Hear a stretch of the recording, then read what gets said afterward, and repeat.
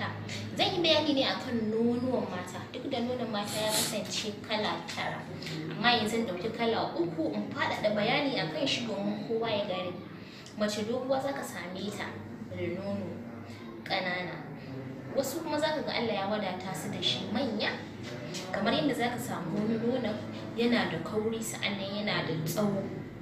Mai nono mai tsawo shine ya fi saurin kwanciya. Za ka ga wata mace kuma nononta yana da kauri sa'an nan kuma mai kumbo ne shine za ka ga kan shi kenan yana da girma matuka wasu kuma za ka ga nonon nasu yana da girma sai kuma kan shi ƙarami ne. To duk ya danganta da yanayin halittar mata. Kowace akwai nau'in shi da kuma yanayin girman shi da kuma irin yadda ake sarrafa shi. Ko ma duk wani iri Allah ya baki ya kasance kin iya sarrafa shi kin kuma iya gyara shi.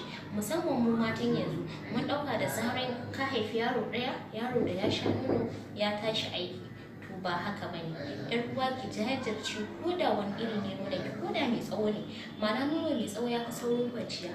Za ki gan shi yana da kauri yana da tsawo sosai. Shine da kin ba yaro ɗaya biyu uku ya kwanta. To shi ma akwai dabarar da za ki mai ko da ya kwanta zai miƙe.